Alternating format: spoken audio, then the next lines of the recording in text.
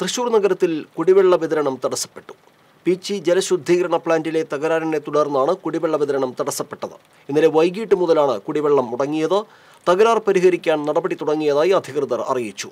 മോട്ടോറിലെ air ബ്ലോക്കിനെ തുടർന്നാണ് കുടിവെള്ള വിതരണം തടസ്സപ്പെട്ടത്.